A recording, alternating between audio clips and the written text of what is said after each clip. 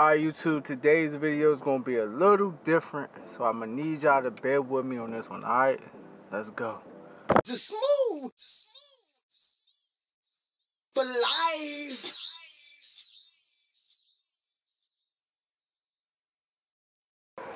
Alright YouTube, so I wanted to bring y'all on this journey today. We are in downtown Atlanta. We are checking out my man Dave Pensado. If you never heard of him, go on YouTube. Pensado's Place, one of the best audio engineers in the game. Learned a lot from this guy, so I came to check him out. I had to come check him out. He might got some special guests, famous rappers, famous producers here, so we're gonna see.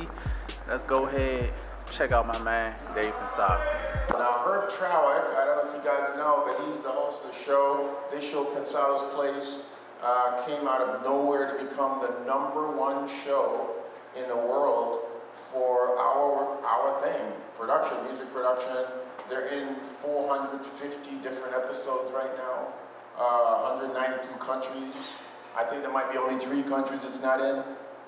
They're little tiny countries like Pacific Islands or something like that. Everywhere else you can get it. So it's it's it's fantastic. We have a full house for them here in Atlanta. So uh, I don't know where they are. They're somewhere close by though. Uh, so let's have a big Atlanta welcome for Dave Pensado and Herb Trawick. Come on, Atlanta, folks.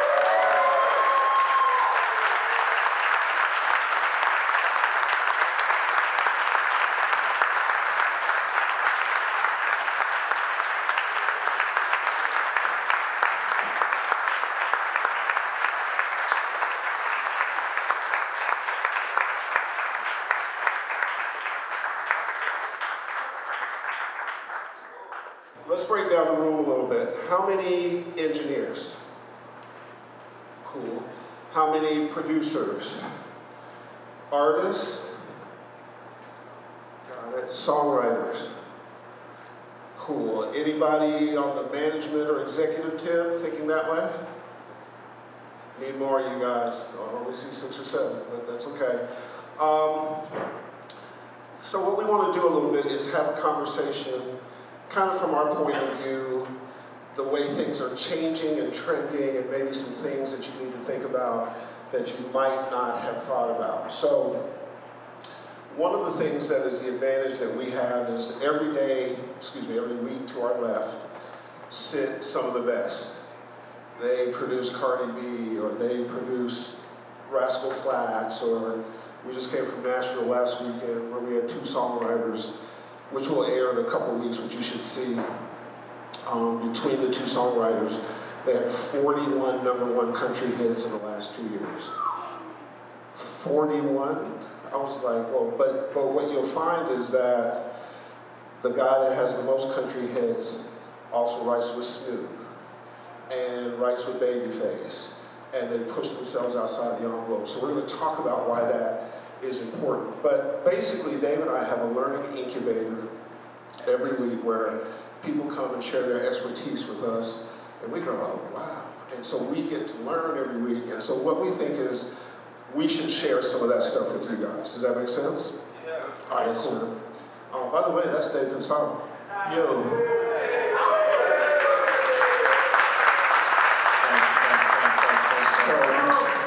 Between knee surgeries and Dave broke his finger yesterday and, and shit, we almost took him to the airport in an ambulance. It was, it was hilarious. Um, Look, look at this crowd. How could I miss this? Right, absolutely. good looking bunch. Good looking. Well, there's a couple of losers, but good looking crowd overall. Dave used to work in Atlanta. This I graduated from Southwest DeKalb High School here. And I'm still alive to say that, yes. But I think they shut the school down after he graduated, so. Um, that's shut it back down when- while I was there. And that a was, couple of times. that was back when Lincoln was president, but that's another story. Um, so, uh, let's, let's dive in a little bit. Um, well, actually, let's not. How many people like winning stuff? Oh, Okay, cool. There's actually a few people who have their hands down. But uh, No problem. So, Are um, we still giving away that SSL 80 channel console? Half a million? um, one of the segments on the show that we do is called Batter's Box. Have you guys seen Batter's Box? All right, so we're going to play a version of Batter's I'm gonna Box. win this one for a change. Um, I'm going to tee Who it said up. that? Okay, you should win something. I'm gonna tee it up for Dave so you can get a sense of the kinds of things that he uses for specific things and see what happens. All right, are Before you, before you go, I'm gonna do, I'm gonna break the rule, I'm gonna tell you like a couple of words why, you know, so, so you'll know why I use these things. This is true, ask my assistants. so if he gets long-winded, just act like you're asleep and then I'll cut him off. do you mean, and let if? him know, When? Which which is normal. All right, Dave, here you go. You ready for batter's box? You've never won one, so it's gonna be hard on you. Are you ready? Yes? Stereo bus. Uh, the Maag EQ4M, it's a piece of outboard gear, but it's also a plug-in. Uh, I like it on my stereo bus. Uh, a little goes a long way, don't overdo it. Um, normally I take out a little bit of sub, but like 20 and below. Uh, the 2K shelf is money, and it's also got a, a, a, a two and a half K to 40K that if you think about it, you can't hear 40K, but the slope is so gradual that it helps you with the top end. Limiter. Uh, this is one that, that I, I hesitated to put in the list because it's expensive. It's, it's a company called DMG Limitless, and it's the best way I've found to get my music loud without having the LUFS go up. It's uh, Limitless by DMG, incredible. I put that on my stereo bus. Vocals. Um, the iZotope Nectar 3. Uh, what I do is I parallel into it, so I don't put it across my vocal. I parallel into it, and the presets are great. Reverb. Um, the UAD Capitol Chambers, it's, it's, it's money. I'm, I'm telling you, it's money. It is so good. It's expensive, probably 300 bucks, but I've never had a reverb that made a sound come in my face. Incredible. Saturation, distortion. Um, Futzbox by McDSP, runner-up, of course, Decapitator. I use I use Futzbox on everything. Um, you're on a desert island and you need a compressor. What would your go-to compressor be? You know what? Um, the Lonely Renaissance compressor by Waves, it does everything. I've got a preset on there called Rap Squash minus 12. Don't get scared. It works on everything and um, guitars, everything. It's a beautiful sound. Um, equalizer. The MDW by Massenburg, you can get it straight from Massenburg, you can get it from UAD, and uh, then I like the Cambridge from UAD. They're, they're, they're very clean. I don't use them when on a dirty thing, but I use them when I want something clean, like the top end of a vocal. Um, delay. Fifty damn dollars. Valhalla delay. New. It's crazy good. Uh, try um, try like an eighth on the right and a dotted sixteenth on the on the left, and, and mess with it. It, it'll, it'll make your vocal jump out the speakers. And if your studio caught fire, what is the one thing you would want to say besides me? um, I'm a little, I'm, I think I'm a little screwed up, but I have things around me in the studio that I might not use, but I just like to see them every day. They, they just make me happy. And my EMT 250, uh, they only made about 100, about 200 of them. And back when they were one of the first reverbs to come out, they're huge, you know.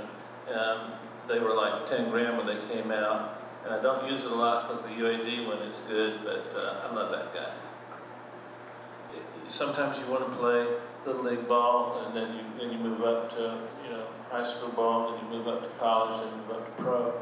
And um, Atlanta's a perfect place to start. Don't don't don't think that you can't make it by starting here, and you can also make it by ending up here. I've got several close friends that have moved here recently, uh, and they're doing great, and they're, they're very successful. So it's not where you're at. It's it's go to some. It's your heart. And um, there's all you, all you need to learn is right here. I promise. On this side, how about you in the pink? Hey, thank you guys for being here. Thank you. um, Pretty much I'm starting from ground zero. An artist, but is there such thing as a best software to use for a beginner, or is it, there's so many different ones? And I've heard like Ableton is more complicated than Logic or whatnot. Is there uh, one that you suggest?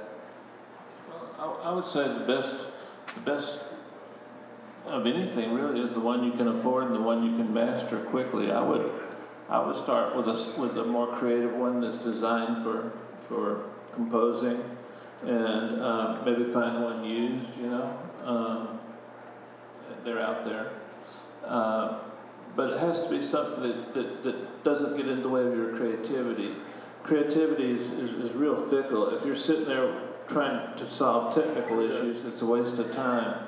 Start small. Maybe this might sound stupid. I- I'd love to hear what some of you guys think, but uh, maybe be good with GarageBand or something that's real easy, and then it, it works. You know, mainly right now you want to catalog your ideas, and then as you get familiar with it, the, the thing in, in the digital space is, is like learning a new language. None of it's difficult. It's just the, the nomenclature of the language and where the hell the knobs are. So it's just experience. And, and- and ultimately, I think, I think you made an, an interesting point, even though I'm not sure you know you were making it.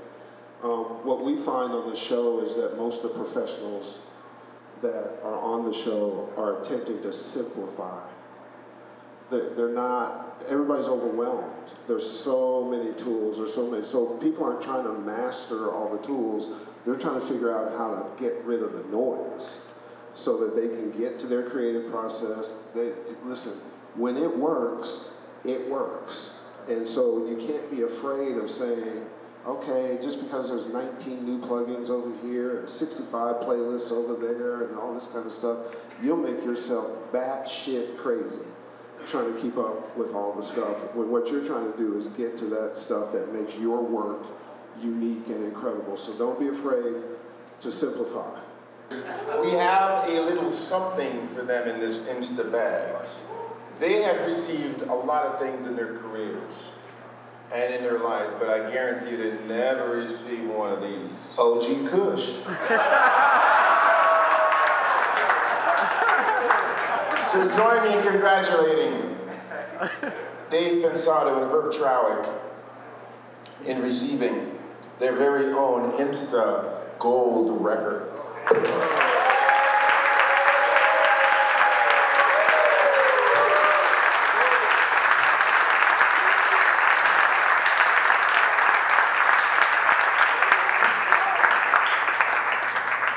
Thanks, Ray. I hope I spelled your name correctly.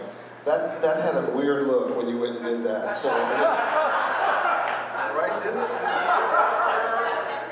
This one's for Dave. Well, thank you. You know, as you guys break, you. Thank you, too. Um, as you guys break, one of the things that I think um, we made a pact is that you pay it forward. You know, when we started this, who knew? It was two old dudes get on the internet. I, I never wanted to do it because it wasn't my space. Thank God I didn't listen to myself. Um, but I think when you give it back, that's part of that collaboration hybrid thing. And it's really important, even at the stage that you're at, you give back, you bring people along. Because we don't get there alone. You're not going to work by yourself. So you want to put out the good stuff and get that stuff back. And that's what these people do, and that's why we're there for them. So thank you guys, and uh, thank you guys. We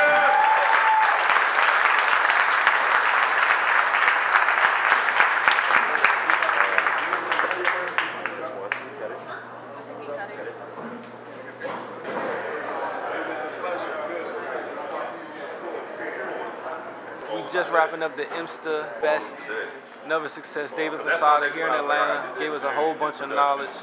Gave away a bunch of gifts. I ain't getting no gift, but it don't matter. I'm still gonna come to the next one. I think there's one in Nashville. We probably gonna hit that one. Check us out next week. And that way, I'll, I'll come over there and we'll chop it up.